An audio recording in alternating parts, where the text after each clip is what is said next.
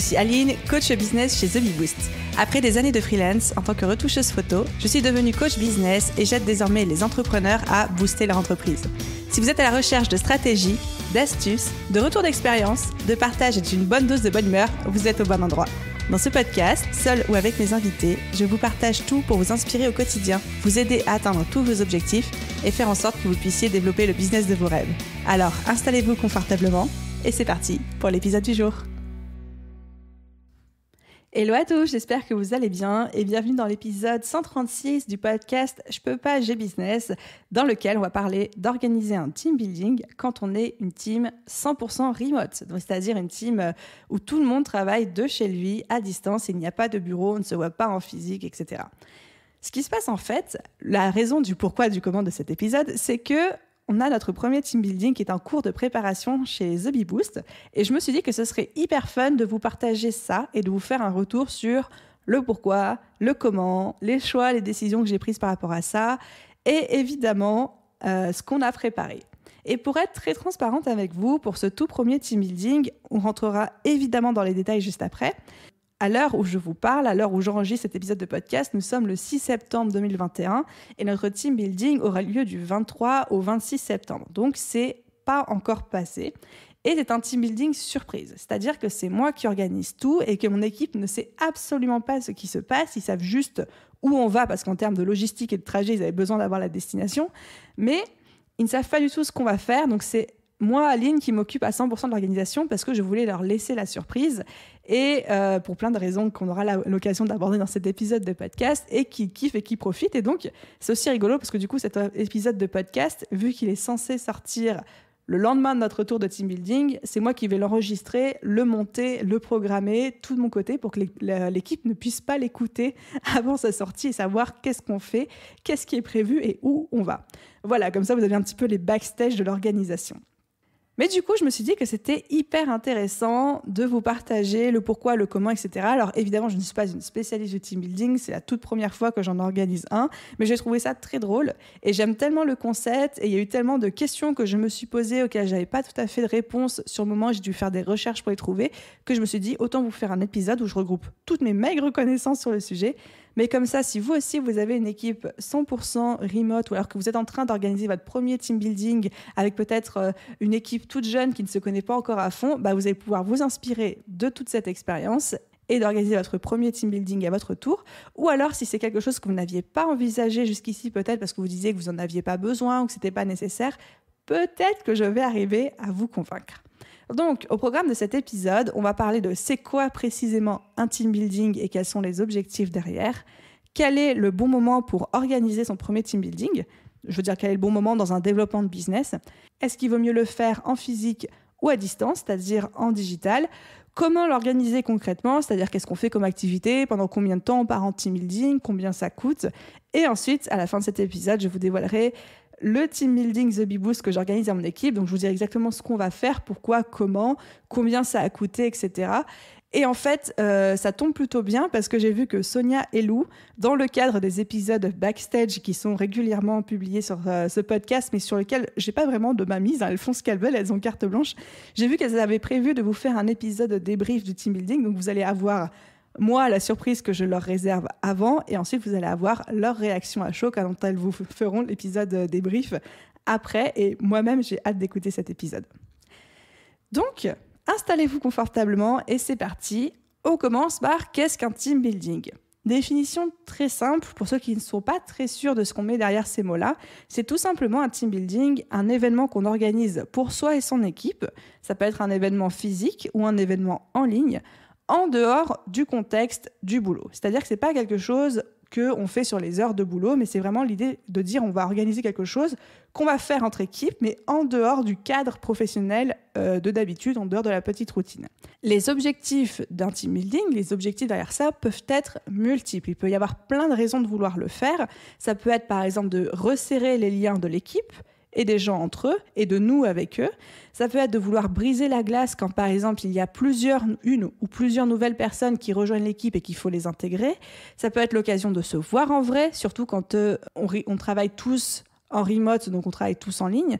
Ça peut être l'occasion de couper euh, du rush du travail et de se découvrir autrement, de se découvrir en tant qu'individu et pas juste en tant que collègue. Organiser un team building peut aussi servir à remercier votre équipe euh, du travail accompli, si on est plutôt sur un team building un peu de luxe euh, ou quelque chose comme une récompense en fait. Ça peut être pour présenter la future vision et les objectifs de votre entreprise. Le fait de le faire dans un cadre qui sort du cadre des petites réunions hebdomadaires ou mensuelles, ben, ça peut rendre le moment important et donc faire en sorte que les gens soient plus attentifs. Ça peut être l'occasion de faire brainstormer les gens ensemble sur des problématiques ou des challenges que le business rencontre. Bref, en fait, ça peut servir à plein de choses, un team building. Souvent, et moi la première, on a cette vision que team building, c'est juste là pour euh, renforcer la cohésion d'équipe, etc. Mais en fait, ça peut servir à plein de choses. Je m'en suis aussi servi pour plein, plein d'objectifs différents quand j'organisais le team building The Boost.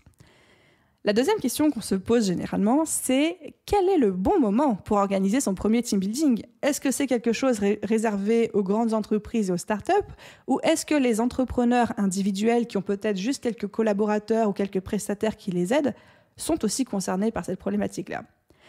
Alors très honnêtement, mon point de vue sur la question est assez tranché, c'est-à-dire que je pense que tant que vous êtes tout seul ou que vous avez deux ou trois personnes qui vous aident au quotidien, même si ce ne sont pas des personnes à temps plein, vous pouvez les voir de manière plus informelle. Vous n'êtes pas obligé de dire ouais les gars, on va faire un team building, on va aller à la piscine le matin, on va faire de l'aquaponie l'après-midi et le soir on va faire une virée dans l'espace. Non. Par exemple, quand moi j'étais toute seule entre guillemets avec Sonia dans The Bee Boost, il nous est arrivé de nous organiser une petite journée ensemble sur Paris où elle montait sur Paris, on, on allait dans un espace de coworking, on travaillait un petit peu ensemble et ça faisait office de team building. Et là, c'était juste on se rencontrait, on passait du temps ensemble, il n'y avait rien de formalisé, on ne disait pas euh, on va organiser un super truc, etc. Donc je pense que quand on a une petite équipe avec un ou deux collaborateurs, donc une équipe de deux ou trois personnes maximum, ce sont des, choses qui peuvent se faire de manière plus informelle. On n'est pas obligé d'appeler ça un team building, même si c'est toujours bien de passer un peu de temps ensemble en dehors des, euh, des moments de travail officiels, encore plus quand on travaille 100% en ligne.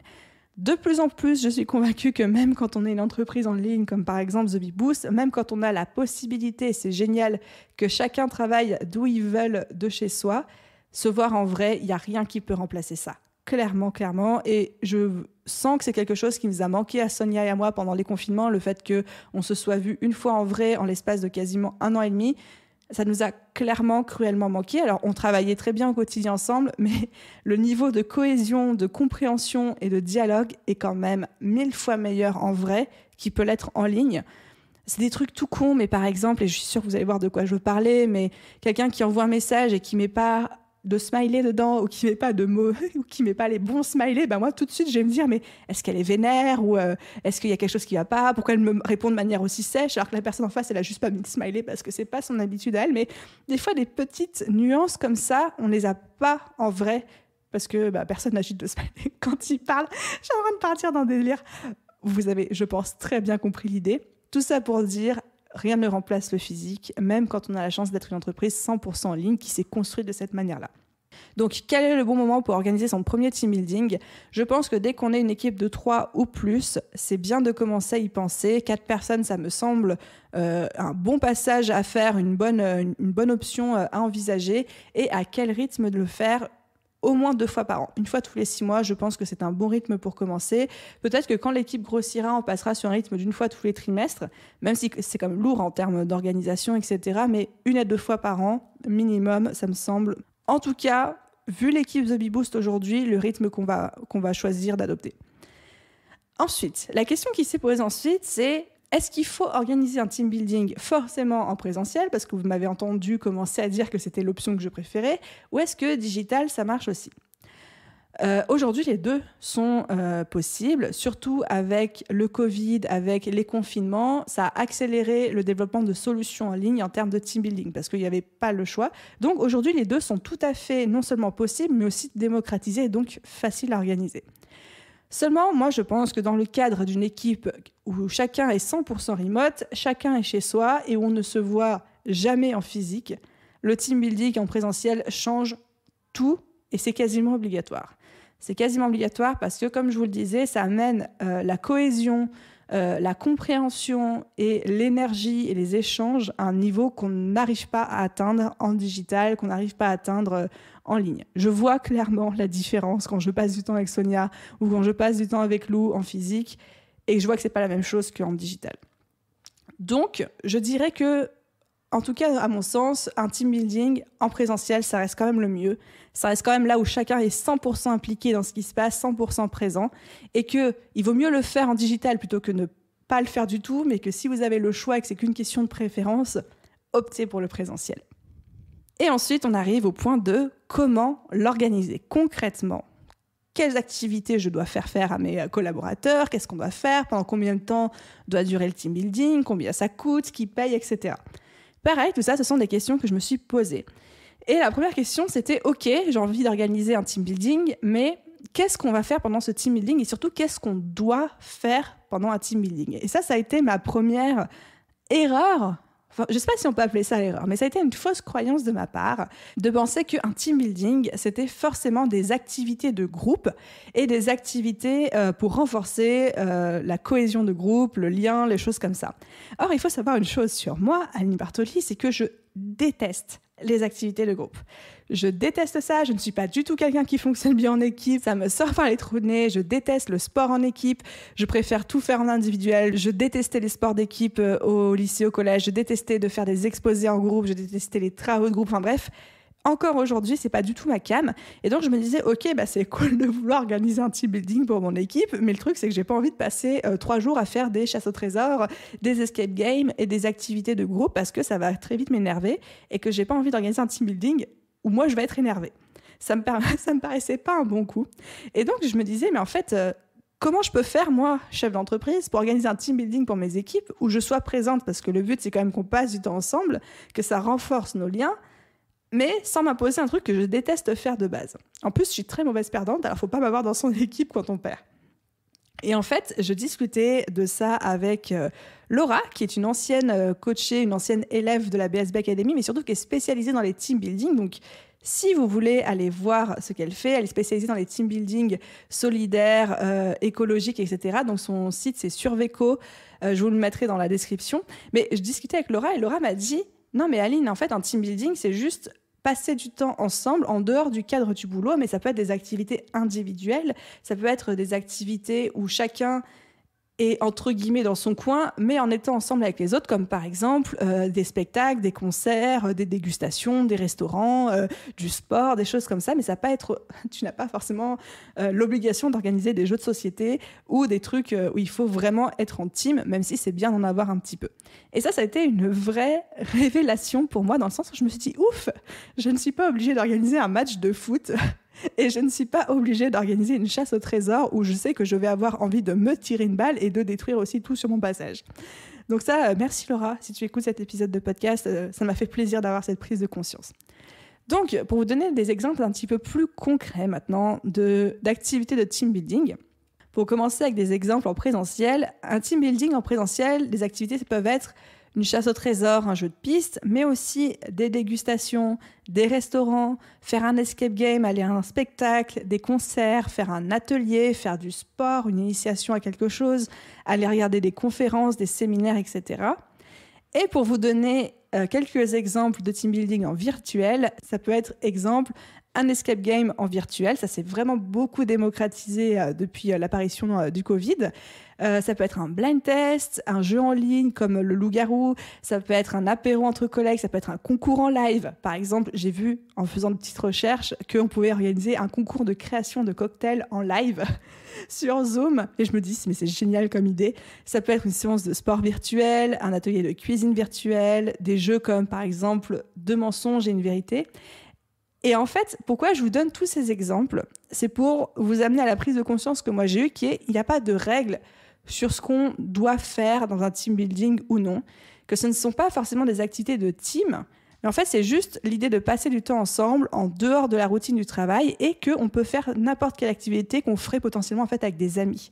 Donc tout ce que vous feriez aujourd'hui potentiellement avec des potes, des amis à vous, vous pouvez le faire avec votre équipe toujours pour euh, renforcer ce lien, passer du temps ensemble, etc. Et l'idée, c'est vraiment d'organiser euh, vos, activités en fonction de vos objectifs.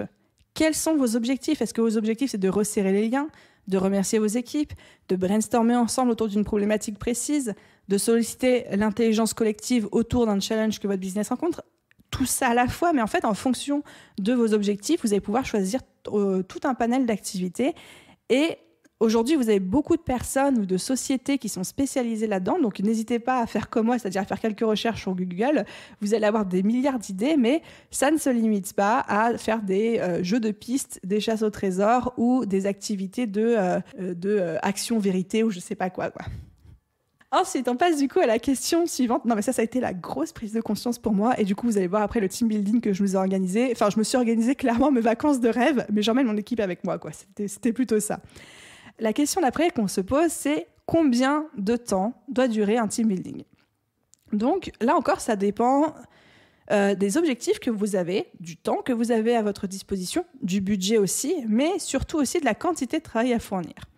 Je m'explique, c'est-à-dire que euh, ma vision de team building, et là pour le coup ça reste mon vision personnelle, c'est pas quelque chose que j'ai lu en ligne ou que quelqu'un m'a dit ou que j'ai appris, mais c'est que quand on dit team building à son équipe, si le team building se transforme en journée de travail ou en week-end de travail où il y a une majorité de travail, et par travail j'entends par exemple brainstorming, présentation de la vision de l'entreprise, euh, euh, trucs comme ça, ben en fait, c'est plus un team building et les gens vont avoir l'impression d'être floués. Donc, quelle que soit la durée de votre team building, si à un moment vous prévoyez de faire bosser les équipes sur le business, que ce soit pour leur présenter votre future vision, pour les faire brainstormer sur quelque chose, pour qu'ils apportent des solutions, etc., il faut que ce temps-là reste un temps minimal dans la durée du team building. Et que si vous organisez un moment une journée de team building, mais que les trois quarts de cette journée sont consacrés à travailler, bah, il y aura une espèce de, décalage de perception et vous risquez d'avoir des déceptions. Donc en fait, moi, je savais que, par exemple, pour notre team building, j'allais avoir besoin de une bonne demi-journée de travail avec mon équipe sur la vision 2022 et un énorme brainstorming autour de la refonte de la BSB Academy, donc qui est euh, notre gros programme phare. Et donc, je me suis dit, on va partir sur un team building de trois jours. Et comme ça, sur ces trois jours, il y aura une demi-journée de travail, mais le reste, ce sera purement des activités, purement des discussions, mais pas, pas vraiment du boulot pur et dur. Donc voilà, encore une fois, la durée de votre team building peut aller de une journée à plusieurs jours, à adapter en fonction de vos objectifs, de la quantité de travail à fournir et de votre budget aussi, de ce que vous pouvez vous permettre en termes, de durée. Et enfin, on passe à la question finale qui est de combien ça coûte et qui paye Ah ah, la fameuse. Alors, pareil, un team building, ça peut vous coûter zéro comme ça peut vous coûter très cher. Il n'y a pas vraiment de règles ou de limitations. Euh, par exemple, si aujourd'hui vous êtes une entreprise que vous avez zéro moyen, zéro budget pour votre team building, vous pouvez tout à fait organiser quelque chose de 100% en ligne, comme ça il n'y a pas de trajet, il n'y a pas de déplacement, avec une journée virtuelle où tout le monde se retrouve sur un Google Meet ou un Zoom, avec brainstorming le matin, euh, jeu l'après-midi, concours de cocktails le soir avec apéro et dégustation derrière. Enfin, vous pouvez imaginer plein de choses qui vous reviennent à quasiment zéro euh, euro de dépenses, en tout cas, juste bah, un peu de temps en termes d'organisation. Donc on peut faire quelque chose qui coûte rien, comme on peut faire quelque chose de très luxueux. Je pense que la seule règle, c'est que c'est l'entreprise qui paye tout ce qui est à payer. C'est-à-dire qu'aujourd'hui, si vous, en tant que chef d'entreprise, vous êtes à l'initiative du mouvement, c'est à vous de prendre en charge les coûts. Quand vous invitez un, un, ami au restaurant ou quand vous invitez un ami à un concert, vous ne le regardez pas à la fin du restaurant en disant bah, c'est toi qui paye ou quoi? Non, alors, soit on split l'addition, soit c'est vous qui l'invitez, mais à aucun moment c'est lui qui paye. Donc en fait, ce serait très bizarre pour euh, une entreprise d'organiser un team building, mais de demander aux salariés ou aux collaborateurs ou aux prestataires de euh, prendre en charge les coûts. Ça, on est bien d'accord. Et ensuite, la seule question, pour entrer vraiment là dans les détails de moi, ce qui s'est passé dans ma tête, qui s'est posée, c'est la question des transports quand il s'agit d'un team building en présentiel. Ça, c'est une vraie question que je me suis posée en me disant est-ce que c'est The Beboost qui prend en charge 100% des transports est-ce que c'est eux qui se débrouillent pour venir sur euh, le lieu du team building par leurs propres moyens et à partir de ce moment-là, euh, moi, je prends tout ça en charge Et en fait, j'ai décidé, mais alors ça, encore une fois, ça reste très très très personnel de faire un entre-deux. C'est-à-dire que j'ai communiqué aux filles le lieu de notre team building et je leur ai dit, voilà, si vous voulez partir de Paris, moi je prends en charge les transports au départ de Paris, mais si vous voulez vous rendre sur le lieu du team building par vos propres moyens, là ce sera à votre charge. Donc là, c'était un petit peu un entre-deux, en mode on a un point de rendez-vous de départ et ils pouvaient soit venir à ce point de rendez-vous et là je prends en charge les allers-retours ou bien aller par leurs propres moyens euh, sur euh, le lieu du team building. Mais ça, ça reste euh, un détail. Mais comme c'était une réflexion que j'avais eue et des questions que je m'étais posées, je partage aussi ça avec vous. Et enfin, on arrive à la dernière partie de cet épisode de podcast qui est le dévoilage, la révélation, je sais que ça se dit pas dévoilage, mais j'ai choisi de le dire quand même, euh, la révélation du team building The Big Boost 2021. Et je suis trop contente de partager ça avec vous parce qu'en fait, je suis hyper fière de pouvoir offrir ça à mon équipe, je vous le cache pas. Euh, pour vous remettre un petit peu dans le contexte, 2021 a été une année extraordinaire euh, en termes de chiffre d'affaires, en termes de développement pour l'entreprise. J'en ai énormément parlé euh, dans plusieurs podcasts, dont celui de la semaine dernière, qui est l'épisode 135 des 7 leçons d'un business à 7 chiffres. Mais on va dire que l'objectif premier de ce team building, c'est de remercier mon équipe parce qu'on a explosé nos objectifs. Donc ça, c'était un team building de remerciement avant toute chose. Et les objectifs secondaires, c'est resserrer les liens de l'équipe qui a grossi très très vite. On a beaucoup recruté cette année, présenter la vision pour 2022 et les années suivantes, et enfin faire un petit brainstorming d'équipe sur la refonte de notre gros programme d'accompagnement. Mais ça, ça reste vraiment un objectif, c'est même plus secondaire, c'est tertiaire ou c'est pas prioritaire. Mais les objectifs prioritaires, c'était un de les remercier et deux de resserrer les liens. Et donc, en fait, avec ces objectifs-là en tête, j'ai fait deux choix. Le premier, c'était, j'ai fait le choix de tout organiser moi et de leur réserver la surprise. Et le deuxième choix, c'était de faire un team building, entre guillemets, de luxe avec un très gros budget parce qu'on était vraiment dans une, une, optique de remerciement. Et ça m'aurait semblé bizarre de faire un, team building entre gros guillemets pas cher alors que je les remerciais qu'on a explosé nos objectifs de chiffre d'affaires. Et il fallait euh, mettre les petits plats dans les grands parce qu'ils ont fait un travail absolument formidable cette année. Donc, au programme, qu'est-ce que je vais les emmener faire pendant trois jours? Donc, donc encore une fois, au moment où ce podcast sortira, on reviendra tout juste en fait de notre team building. Mais le but, c'est de leur offrir trois jours dans un palace 5 étoiles avec spa et thalasso. Donc j'ai booké un super palace en Normandie dans lequel on va rester deux nuits, trois jours, et pendant ces trois jours, on aura à chaque fois une demi-journée de soins thalasso, donc c'est-à-dire euh, des trucs avec des jets d'eau, des massages, etc. Ça, clairement, c'est pas vraiment une activité de team building dans le sens où bah, chacun sera de son côté avec sa masseuse, son petit enveloppement aux algues ou je sais pas quoi. Mais là, c'est clairement la partie remerciement, zen, on prend soin de nous et on se félicite pour le chemin parcouru. On aura aussi des super bons restaurants qui sont prévus, etc., etc. Mais on aura aussi des petits moments. J'ai prévu un escape game pour tout ce qui est resserrer les liens d'équipe, apprendre à travailler ensemble euh, et, à, être ensemble et à communiquer ensemble. Et on a une demi-journée aussi seulement entre gros guillemets sur les trois jours de réserver avec des moments de brainstorming et une présentation de la vision et des objectifs pour l'année 2022, etc. J'ai fait le choix de consacrer seulement une demi-journée à ce moment entre guillemets de travail un petit peu plus sérieux pour la raison que je vous ai expliqué plus tôt, c'est que on est dans un moment de cadeau, de remerciement et de construire du lien ensemble et j'ai pas envie de d'exploiter entre guillemets ce moment-là pour les mettre à profit du business vu qu'on est sur d'autres objectifs. En termes de coûts, parce que là vous êtes en train de vous dire, ok Aline, ça a l'air trop bien comme programme, je veux venir, mais ça coûte combien d'organiser un truc comme ça? Encore une fois, on est sur quelque chose d'exceptionnel, un cadeau de remerciement parce qu'on a exposé nos objectifs. Donc, on a un budget. En fait, je suis partie sur un budget de 1500 euros par personne pour trois jours. Ça comprend les restos, ça comprend les transports, ça comprend euh, le 5 étoiles avec tous les soins à l'assaut, etc. Mais du coup, pour quatre personnes, ça nous revient à 5500 euros à peu près pour ces trois jours-là. C'est un, énorme budget mais qui n'est pas si énorme que ça quand on prend en considération ce qui a été accompli par, euh, par mon équipe en termes de travail cette année. Donc voilà un petit peu. On arrive tout doucement à la fin de cet épisode de podcast. Je vous ai partagé toutes mes réflexions, ma découverte, mon organisation du team building, ce que j'ai réservé à mon équipe, mais je compte sur vous pour garder le secret. Et en conclusion, j'aimerais partager avec vous une chose. Une chose que j'apprends chaque jour, qui a été une de mes grosses leçons de l'année 2021, c'est l'importance de la team, de l'équipe, quand on a un business qui grossit, mais surtout l'importance d'en prendre soin de manière proactive. C'est-à-dire que je fais le choix dans mon équipe aujourd'hui de ne pas attendre qu'il y ait des problèmes pour les résoudre, mais de tout faire pour les prévenir.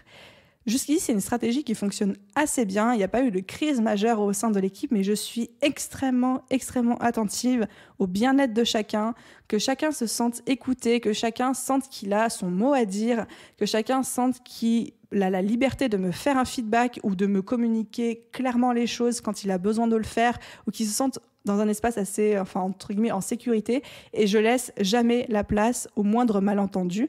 Alors, ça ne veut pas dire qu'il y en a jamais, parce qu'il y en a toujours, mais toujours être dans la communication, etc. Et ce team building fait partie de ces process que j'appelle des process de team care, en fait, de prendre soin de son équipe, de bah, remercier les gens pour le travail qu'ils font, même s'ils ne me l'ont pas spécialement demandé ou qu'ils ont été déjà remerciés à plusieurs moments de l'année, parce que je, je les remercie à plusieurs moments de l'année de plusieurs manières différentes.